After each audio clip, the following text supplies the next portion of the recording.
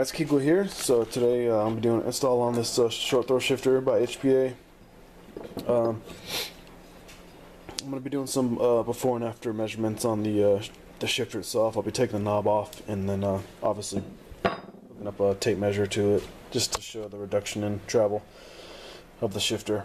Um, so what I'll have to be doing is taking off my intake box, uh, my MAF, and then it's literally right underneath right there. I'll just be changing that out. Um, there's some installation videos where people actually take out the battery to give more room, but I think that this will be enough room. So let me go ahead and uh, take this uh, intake box and the MAF pipe, uh, the MAF, uh, the MAF's housing off, and then uh, I'll show you what's going on. Alright, so I went ahead and removed the air box and the MAF housing. All I needed was a, a T25 Torx bit um, to get um, screws out here and here. And then I used a eight, yeah, eight millimeter socket to get the uh, clamp off for this side of the housing, and then just pulled it all out in one. Uh, before I go ahead and tear into that, I'm going to go ahead and uh, measure the travel um, with the stock shifter, and then uh, go from there. Alright, so from the very front of the shifter knob itself, full travel back from third to fourth is roughly four and a half inches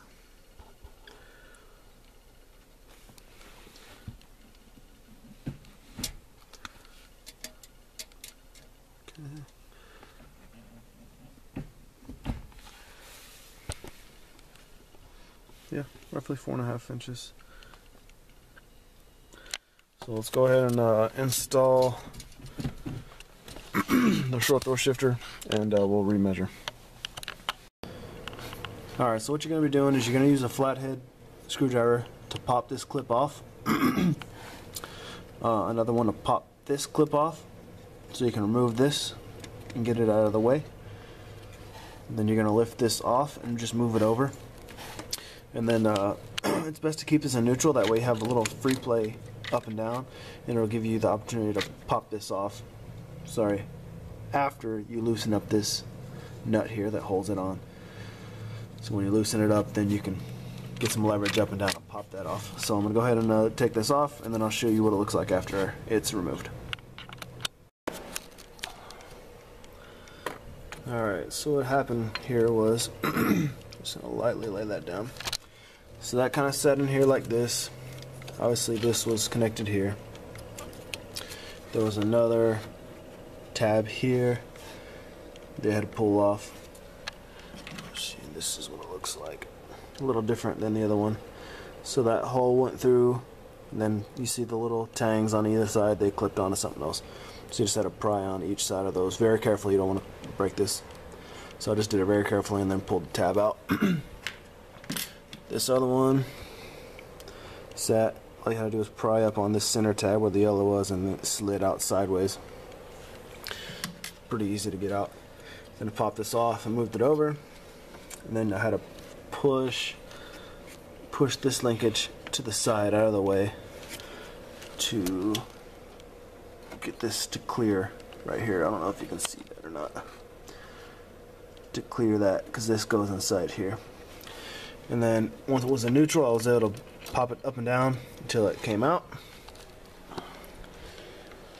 And then here's the side-by-side -side comparison of the two. So what's going to happen is they came with they came with two connectors.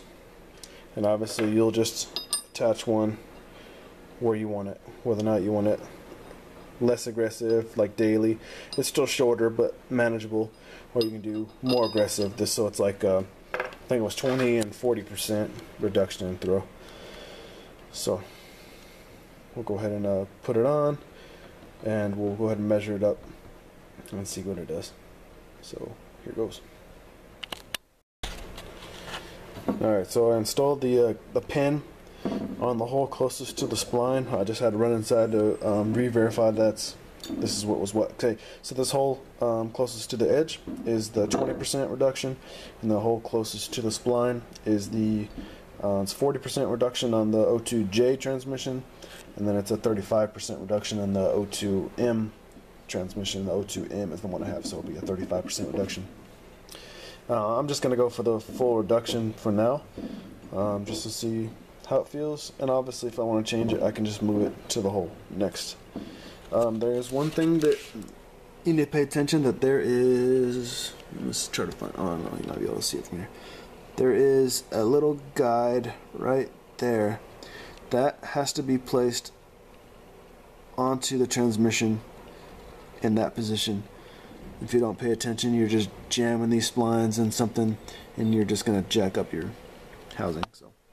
Be careful whenever you uh, install that into or on top of the uh, transmission. So I'm gonna go ahead and throw it on and we'll go ahead and measure back up.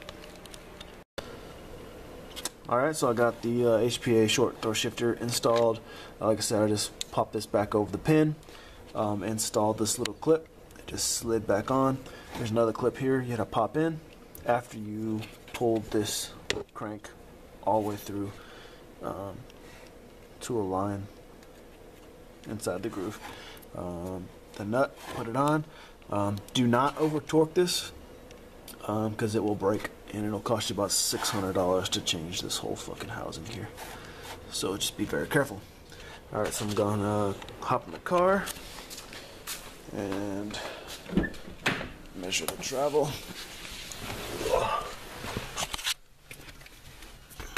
Give me just a sec. Alright, so I got it lined up. And here goes the travel measurement for the 35% reduction. So that's about maybe two and three quarter inches. So it went from four and a half to two and three quarter inches. So that's to me that that's about 50% reduction in my book. But um, there you have it. So we'll go ahead and uh, drive this around and we'll see how it feels. And then uh, we'll go ahead and adjust accordingly.